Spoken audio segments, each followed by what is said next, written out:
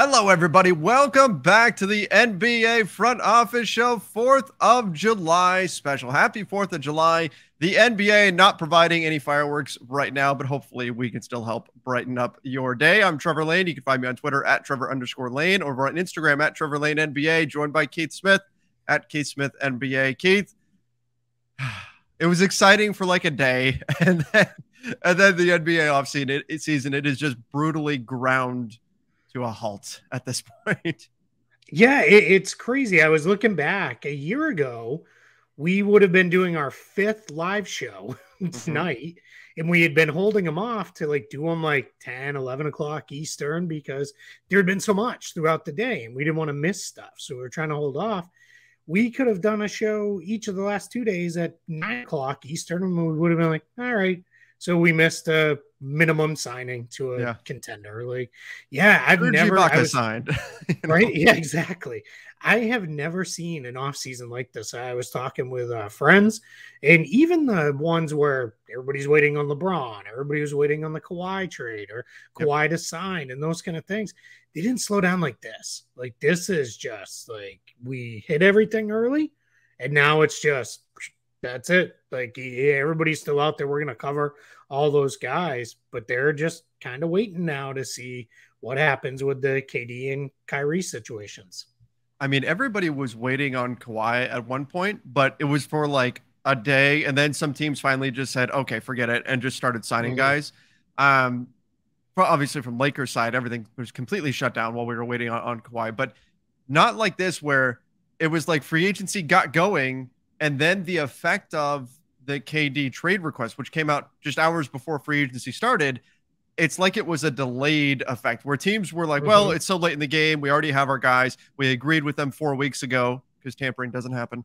Um, and so we're going to do this. And then it was all of the, I think it was all the moves that weren't essentially already done. I mean, Shams had what, like seven or eight tweets that were like went off right at the buzzer. yeah. You know, it was all the moves that weren't already done the teams just went, nope, putting a stop to that. Let's wait and see how this whole Kevin Durant situation plays out, Kyrie situation plays out, and then we can figure out where we're going to go from there. And then from the other side, I think players are doing the same thing mm-hmm. where players are like, you know what?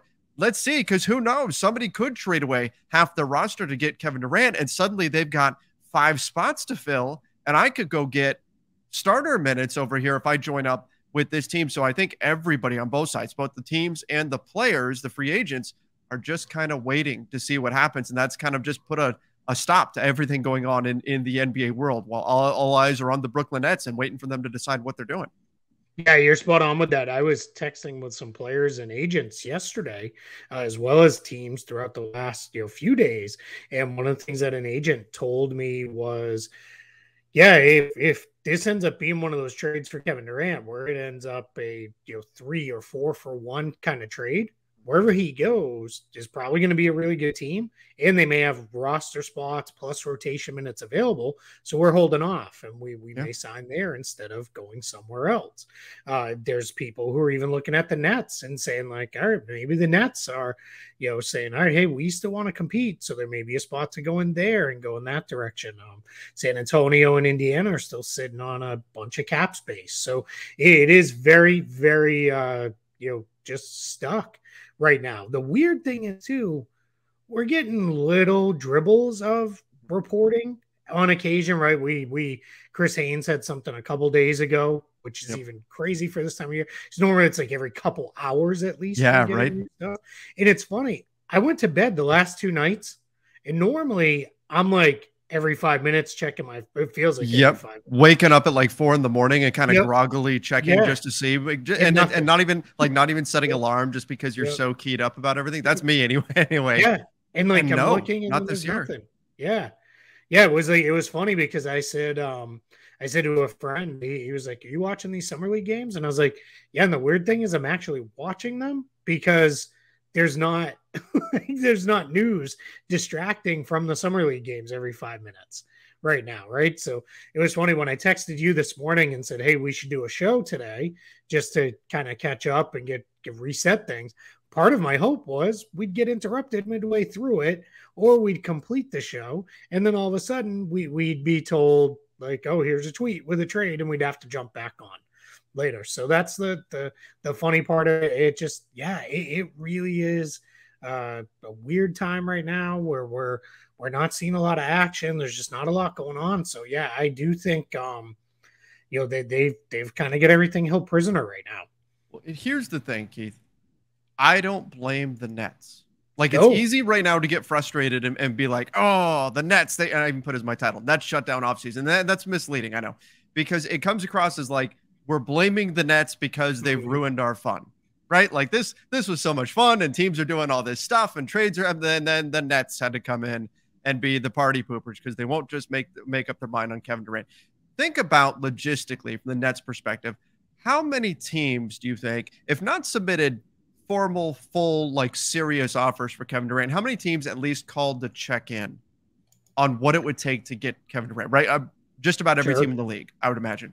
Yeah, so just in terms hope. of you're in your war room, you're putting these trades, these potential proposals up on the board. You're strategizing what is it that we want most, and teams are making these calls, and you have to at least have a conversation about all of them, even if it's very clearly like, no, this isn't gonna. Okay, the Sacramento Kings call. They want Kevin Durant. Is there a real deal there? No. Okay, yeah. move on. Right. But you still have to be able to have those conversations, and that takes time. When we look at the activity that happened at the beginning of free agency, remember a lot of that stuff happened over the preceding weeks, right? So it felt like there was a lot. In reality, it just got it was just the big reveal right mm-hmm. in the mm-hmm. first day 24 hours of free agency so it felt like oh my gosh the nba is moving at this breakneck pace it's going to continue this way no, that was mostly the pre- the previous few weeks just kind of getting unleashed and now the kevin durant thing this is more standard it takes time for a trade to come, come together particularly one of this magnitude so i don't even fault brooklyn because logistically this isn't easy to do and frankly this is the most important decision that they've had to make in a while. The decision they make here is going to impact this franchise for the next decade. So they've got to do everything they can to do their due diligence and, and do their best to get it right. And put on top of it, they're trying to sort through Kyrie Irving trades as well. Yep. So those aren't easy to put together either. So you're in a position here where it's you're trading two guys who make a lot of money. So those are complicated trades, even in the summertime. Uh, you may be in a position where it's all right, who has cap space left and trying to rope one of those teams into, hey, can you do a reteamer and eat this salary for us? Oh, you need, you know, instead of then the value gets routed to us, it's getting routed to you. We don't really like that. And and that's just where it gets really, really messy because all of a sudden it starts turning into all right. Yeah, let's just say Kevin Durant in the Suns in the Nets are like, all right, Suns, we we that's where we want to go. That just becomes hard because it's all right, well, there's if it's DeAndre Ayton, there's base year compensation. You also have this Ben Simmons factor, which is because Ben Simmons is a designated rookie uh, extension player. There's like 16 other players that can't be acquired because they're also on the same kind of contract. So that makes that uh, very messy. So yeah, we're we're in just a weird. There's a lot of weird stuff going on here. Also, too, the Nets don't necessarily really want to bottom out completely and just go youth movement because they don't own their first round picks for the next several years. So at some point that turns into sunk cost, right? Just like it did after the Boston trade. Sure but you just gotta you, you, you roll with it and just figure it out. So yeah, this is not an easy one. So we'll see, you know, where this goes um with, with this. So I want to flip it from KD because there's really nothing even being reported there. Well, now, there's one thing before oh, we get to KD, get to Kyrie. No, we need ahead. to talk real quick about KD. Um, we just saw in the NBA draft the Vegas odds shift dramatically late to Paolo Banchero being the number one yes. pick right? Even as a lot of the top newsbreakers were saying, no, no, no, no, no, it's Jabari Smith. It's still Jabari Smith at the top of the board. The Vegas odds reflected what was really going on. Obviously, somebody knew something. The Vegas odds ha- suddenly have the Raptors surging to be one of the teams that is now more. I don't think they're the most likely right now, but one of the teams that is now more likely is. to land him. What do you attribute to that? That too, like, is this? Do you think something is going on behind the scenes where the Raptors are going to wind up being the team to come in and grab him, just like Paolo Banchero winds up suddenly shooting up in terms of the, the odds of going number one. And then lo and behold, he's the first overall pick. Yeah, I think there's probably a couple things with this one. I think some of it probably is the idea around uh, Toronto can go get him, right? They have the ability to put together a really nice trade package while also still having very good players left behind after to put with Durant to put a really good team on the floor. Um, there's also the Masai Ujiri factor. Like he, I say this all the time, more than any uh, GM in the league, he'll step up and take a home run cut and see if he can make it happen. He's not afraid. He's he's to do that. He's got the gravitas to do it. He's built a championship level team there in Toronto. I mean, remember everybody was like, "Why are they trading for Kawhi Leonard? He's not to stay there." And everybody was right. He didn't stay there, but they won a title, so it didn't really matter uh, in the end. So yeah, he'll, he'll do it if if he feels like the right deal is there. He'll absolutely do it, even if it is you know all right, this is this one's a little different, right? Because because Durant has three more seasons under contract right. after this year. Um, but that is, you know, that just changes it just slightly. But yeah, it is. Uh, it's. Hey, I'm not surprised the Raptors are up there. I've been throwing them out there for a while, saying like, wouldn't be surprised here if they make a run. You can also deliver some players to the Nets that would make them probably feel pretty good about. All right, we can still put a competitive team on the right. floor next season. Matters. Yeah. Yep. All right, let's go to Kyrie. Yep. Um, with this, I, I don't want to put it exactly this way, but it seems like it's kind of Lakers or nobody right now. Um, here's what I want to ask you, being the Lakers guy. Yeah. We got reported that Kyrie, those are the the the pillars on his side. What happens after Kyrie for Russ, if that's the set part of the trade? The the discrepancy seems to be the Lakers want Seth Curry, mm-hmm. and a healthier player, while the um, Nets want to send Joe Harris for instead of Seth Curry. So they want to send Joe Harris, bigger contract, not as healthy if you being the Lakers guy, I'm sure you probably assume, prefer Curry to Harris to alter sure. things. Would you let that keep you from making that trade? No, no, I, I would not. Um, this is this is the saving grace for the Lakers in my mind. You can find a way to get this done, this is.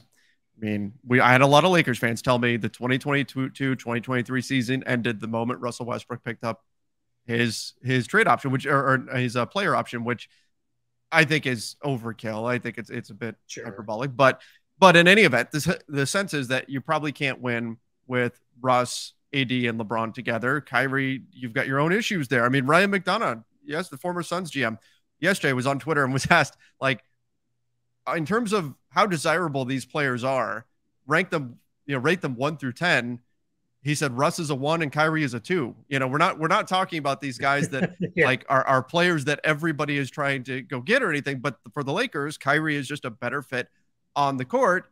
And maybe you've got a puncher's chance next season if you're able to get him. So I'm not letting Joe Harris be the sticking point, particularly because it's not like Joe Harris is um, a guy who is in a position that they just flat out don't need. You know yeah. what I mean? Like they need shooting on this team. Yep it's not like Joe Harris is a guy that would come in and you just go, oh, there's no utility here for him. We have no need for the guy who does it. It's not like you've got three point guards already on your team and he'd be a fourth point guard or something. No, mm-hmm. he provides a skill set that you need. So I'm not letting that kill the deal for me if I'm the Lakers. Now, again, it's not my money to spend. And Joe Harris makes significantly more. And then when you get to the luxury tax, it only amplifies that. But what I'm doing if I'm the Lakers is I'm using that as a concession. I'm saying, okay, well, look, if we're willing to take on Joe Harris, then X protections are on this pick, or you know, whatever, right? You're using that as a negotiating piece in, in order to get the deal done. But I'm not drawing a hard line in the sand and saying, nope, has to be Seth Curry. We're not taking Joe Harris. But again, we've seen the Lakers blink at spending money. saw it with Alex Caruso. They they he offered to take less, and they said, no, no, thank you. We don't we don't want to spend that kind of money. So that's the concern right now for Lakers fans. It's like, are the Lakers going to balk at spending the money required in order to take on Joe Harris? And are they really going to let this thing fall apart over that? I can't say it's going to happen, but if it's me, again, not my money, I would not let it, this trade fall apart over Joe Harris versus Seth Curry. Yeah, that's where I am too. I think, too, if healthy, I realize the money's long, but I think Joe Harris almost even feels a little bit more of a need than mm-hmm. Seth Curry. I get it, they're both shooters, but Harris has a little more size and he's a far better defensive player than Curry is. So you throw him out there in lineups with Kyrie, LeBron, AD, and whoever the fifth guy is, and you're probably pretty well set.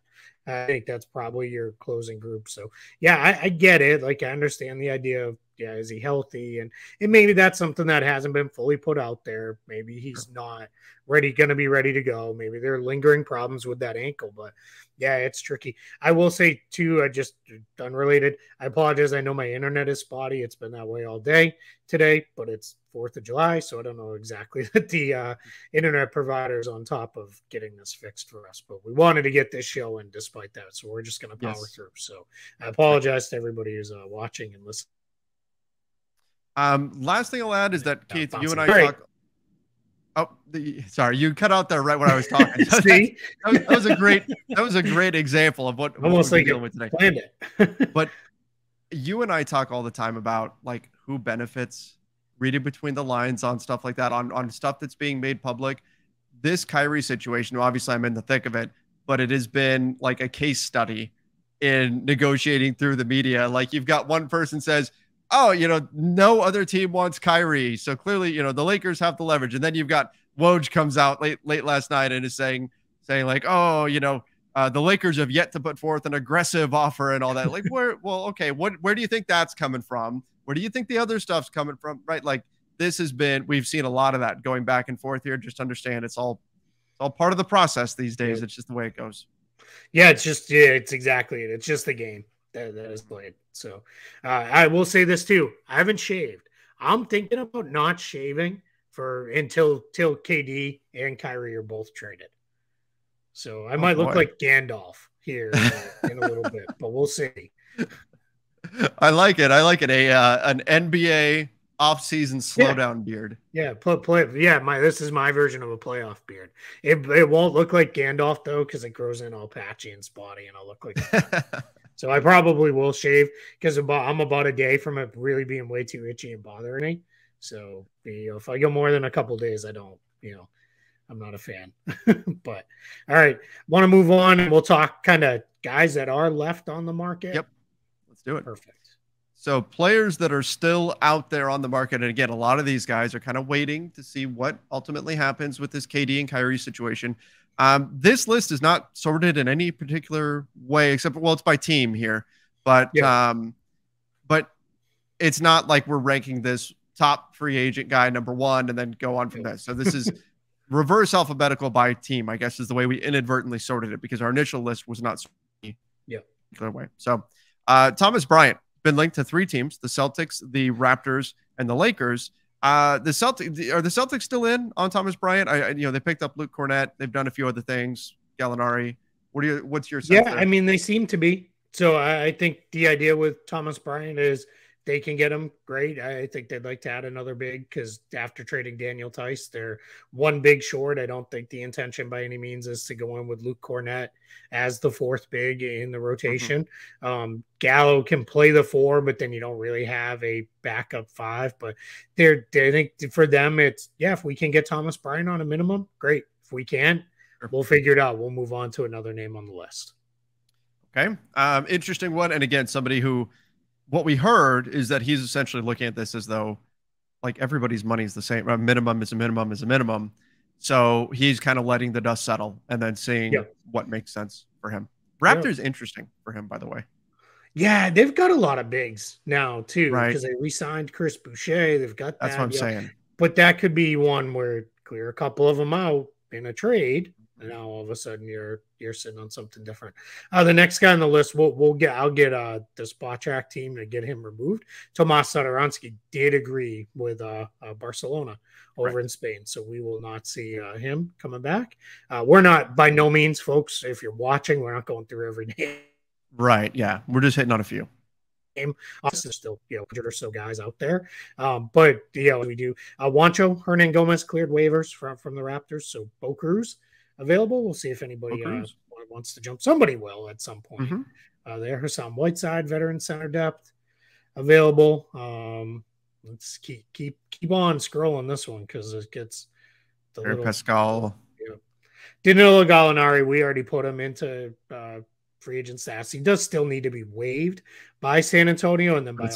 Boston uh, will will acquire him uh, there. Um, Jeremy Lamb maybe could help a team on a minimum oh, somewhere.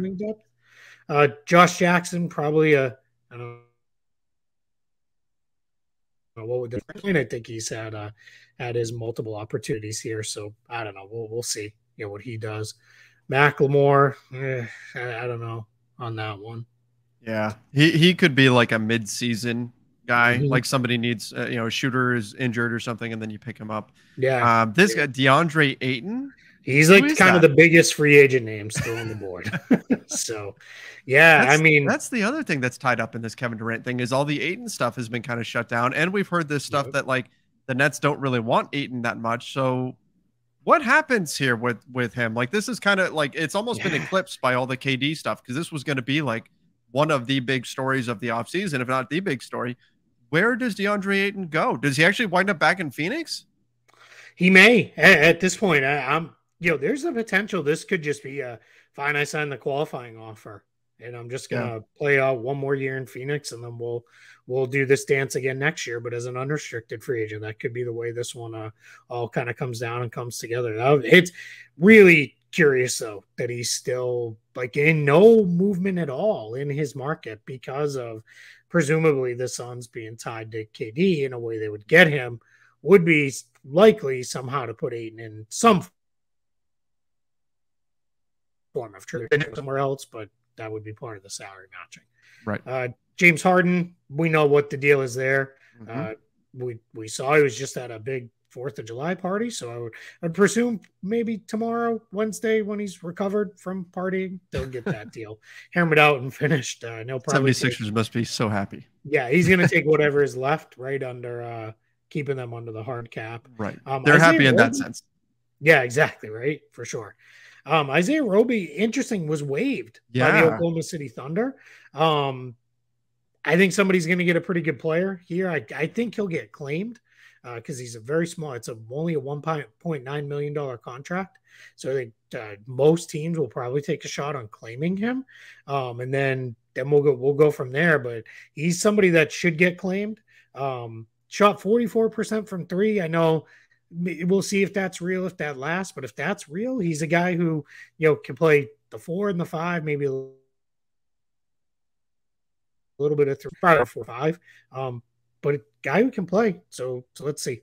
This rarely comes up in the like I would I don't even know where to look to see the waiver claim order in the NBA. Yeah, it now. should be the end of last year's uh, uh, season Standings. records. So uh, what would that be? At the top would be Detroit, Houston. Yeah. I don't know. I don't remember. Interesting. Uh, we'll find state. Go find if you're interested. Go find the standings. Reverse it. Hmm.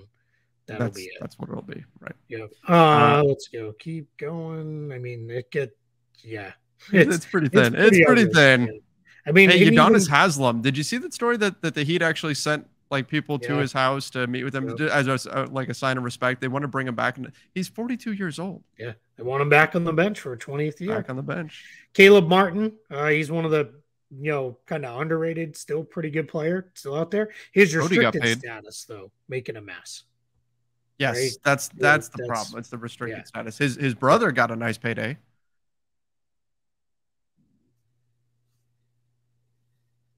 Yep. So so we'll see there. Uh, my internet's playing games again, so we're probably going to cut this somewhat short. Um, so, hey, I sent Trevor a text uh, just the other day, and I was like, it's kind of a sign of how rough the Lakers season was that basically every key Lakers free agent that isn't Malik Monk is still available. I mean, this. these are all the guys who ended. Wenyen Gabriel should come off there now. I'll get that right. updated. Um, but all and these Mason Jones and Mac McClung, those are kind of G yeah, League guys. Two two ways, yeah. But those are that's those were the guys that finished the year on the roster for the Lakers. Mm-hmm. I mean, Ellington, Bradley, Howard, you know, Melo. I think Melo still can play. I wonder mm-hmm. if he's waiting to pick a spot and land with somebody. So. so we'll we'll see. Um, hey, let's pause though, real quick, before we go on to the next team. How uh, do what, what what's your uh, Cole Swider stock looking like?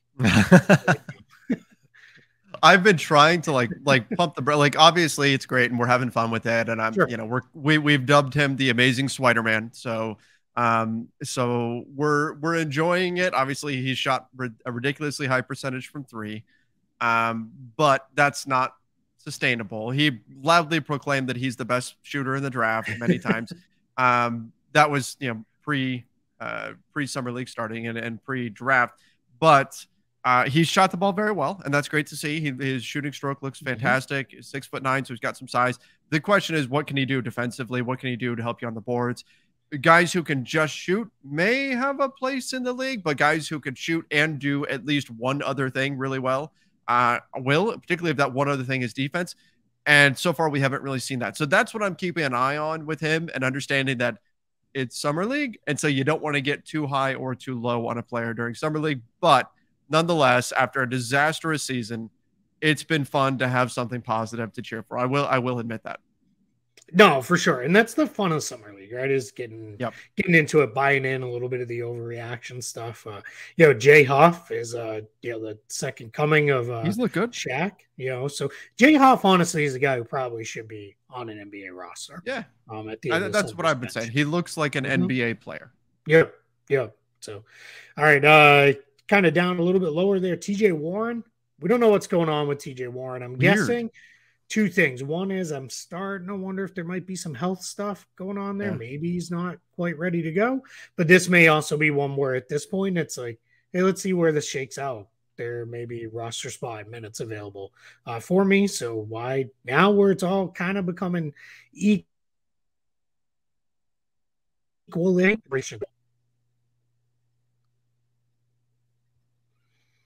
like I'm seeing fans of 30 teams essentially right now posting on social media saying, could we get TJ Warren? Yep. Maybe we can add him for a veteran minimum because now the money's drying up and everything. Mm-hmm. But it's weird given the supply and demand situation in terms of wings. It's strange that he's still out there and makes you ask that question. Why not? Not to go all Brian Windhorst on me, but now why would he still be, still be out there? Um, that's uh, I, there's something going on there that's that's maybe a little bit odd, and so I'm I'm interested to see how all this plays out with with TJ Warren and where he ultimately lands, and if the health is still some sort of a concern, because that would explain why he's still sitting there when a lot of people had him pretty high on their list heading into free agency. Yeah, absolutely. A three four who can score the ball the way he can should have been pretty high on people's list, but there's got to be something going on. Uh, Dennis Schroeder, it's probably yeah, another year. This might be a year at the minimum for Schroeder. He turned down eighty-four million dollars. Oh man. Yeah. He's yep. not like he's not a terrible player. He's not no, like yeah, he's not. Yeah. If you need a bench scoring guard, there's yeah, you know, you there's worse guys already on rosters for uh, sure than him. It's just it's got to be kind of that right fit. And You have to have a team where you can say, all right, for your 15 to 25 minutes a night, go do your go shoot shoot shoot shoot do your thing and off you go. But uh warriors guys nemanja bjelica's headed back overseas. Mm-hmm. um we know this now. Uh i kind of like frank jackson. I think he can play a little bit you had him high on your list of uh, free agents. I did. So yeah i'm a little surprised. You know i think you know team's gonna get a steal probably on a minimum for him. Uh Bryn forbes? Let's see. Did he signed somewhere. He did. Yeah let me look where did he we must land? Um, Bryn Forbes. Timberwolves. There it is. One year minimum. So we'll get that one one updated too.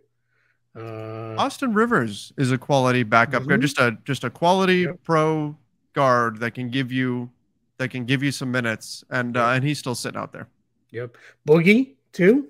Yeah. Uh, let's see what my guess is with Boogie Cousins. This will be now he'll pick his spot. Now he'll wait and see. You know, does somebody have an injury? Is there a spot he can really play and go? Doesn't it feel like he should be older than 31? Yes. Yeah. Right? Absolutely. Yeah, it feels like he's been around forever. Yeah. Plus, he's always kind of moved like he's old, even before the injuries. right. Like he did. He was never a super, you know, athletic guy. He's always been more of a bull and strong. Uh, speaking of the what, what Collin Sexton, right? They call him the young bull. Yep. Still sitting there in restricted free agency. My guess is this is Cleveland's probably waiting him out and saying, like, hey, here's a team friendly extension. or you can sign the qualifying offer. Which way mm-hmm. do you mm-hmm. want to go? Because there's probably nobody in the running for him. San Antonio would make some sense if they wanted to put him at the point for Sexton because yeah. they don't have a lot at point guard uh, left they over after win? trading away um, Dejounte Murray. Do the Spurs want to win right now, though? Yeah, probably not. But he's like young enough that you just plug him in with all your kids, right? Sure. And go. So I don't know. Uh, Tristan Thompson probably catch on somewhere at some point at the end of somebody's bench. Montrezl Harrell, who knows? The, the legal situation's got to play out. Mm-hmm. Same with Miles Bridges. Um, yeah. the domestic violence stuff. I, I saw. Did it happen? Last I saw was that the the Hornets were going to pull the qualifying offer. It hasn't uh, hit any kind of official transaction log, so okay. so we'll see on that one. Um, it again, yeah. probably probably let's see how everybody's stuff fills out. If somebody needs a point guard, they can grab it, and then the Nets kind of collection of vets: LaMarcus Aldridge, Blake Griffin. You know, probably at least Griffin. I think will play somewhere. Mm-hmm. Um, we'll see what that looks like. Lou Williams for the Hawks still out there as well. Um, Sharife Cooper at this point on the Hawks. I kind of like him as a yeah, draft guy a couple years ago. He's probably just going to be back on a two way. But guys, you get the sense this is it's pretty dry out there. Sure. The market. We said this. The free agent class was not very good. It dried up very quickly. So now it's it's it's those last couple of big trades to come down, and then we'll see. And then my guess is we'll start seeing the rest of these guys fly off the boards. But there's guys who should be on NBA teams right now. Oh, they are still sitting out there. That if if not for this Durant situation, they'd be getting signed right now, or getting yeah, yeah. They're coming to agreements right now. Nobody can yeah. sign till the sixth. But a couple guys on the screen, even Kessler Edwards, Kessler David Edwards. Jr. Those yep. two guys can play. They should be somewhere. Skylar Mays should probably be on a team somewhere, and that's not even to mention the you know you know 10, 20 vets we talked about as we scrolled through. But yeah, yep that's where we're at right now. That's the current state of the league. Um, like I said, we are all just right now waiting to see what happens, and a lot of these players too, waiting to see what happens with Kevin Durant, with Kyrie Irving, what ultimately happens with like DeAndre Jordan. Once those dominoes start to fall, I think we're going to see things open up again, and we'll see agreements take place. But right now, everything is just being held up by this whole situation. And again, can't fault the Nets; they've got to get this right, but uh, who knows when this is going to actually get it could happen. We, we could get a woj bomb right now. It could be a week from now. We just we have no way of knowing. You were trying to speak it into existence. I appreciated that i'm right trying i'm trying keith i am so nervous. I've got my flight to vegas yep, tomorrow for that's exactly when i'm expecting it. It's going that's when it's going to happen. It's going to be while i am completely disconnected and i'm in the air I know that's when it's going to happen. You're going to land to I'm 35 terrified. texts from me saying, "What? How quick can we record?" Yep, yep. and I'm going to be like, "Okay, how quickly can I get an Uber and get to the yeah. hotel?" And yeah, right. it's thankfully the Vegas airport is not very far from the hotels, so true. You know, but the check-in process of the Vegas hotels often is. Mm-hmm. Yeah, so I am I'm nervous. I'll tell you that, man. I'm, I'm nervous about what can go down tomorrow. I was really hoping that this stuff was going to get done today. Who knows? Maybe we'll we will still see see some fireworks for Fourth of July, but right now it, feels like this thing is all just kind of jammed up. And if that's going to be the case, cool. Push it back one more one more day. Wait till the sixth, please. When uh, what what what would ruin nights the most tonight? Right, like if it like eight o'clock Eastern, like as oh, everybody's oh, yeah. getting ready to watch fireworks. But you got to wait for it to get dark for there to be fireworks. Maybe that's what Woj is waiting on too. He's he's gonna drop that right at like when it whatever sunset is, and off we go. And it's dark enough for fireworks, and there's the big fireworks, and then you've got people abandoning families all over to go break down Kevin Durant trades. oh boy, I I now fully expect it while you're uh, in in en route to yeah, Las Vegas. I know it's it's happening. That's that's yeah. the way this is going to go down. but uh, such is this NBA life. Yep. All right. Well, everybody, thank you guys for for joining us. Thank you for watching over on YouTube. Thank you for listening over on Apple Podcasts. Make sure you do subscribe, give us that five star rating and review. We will be back soon to break down everything else that's gone on. Hopefully, next time we've got a Kevin Durant trade to discuss. Until then, see ya and stay safe.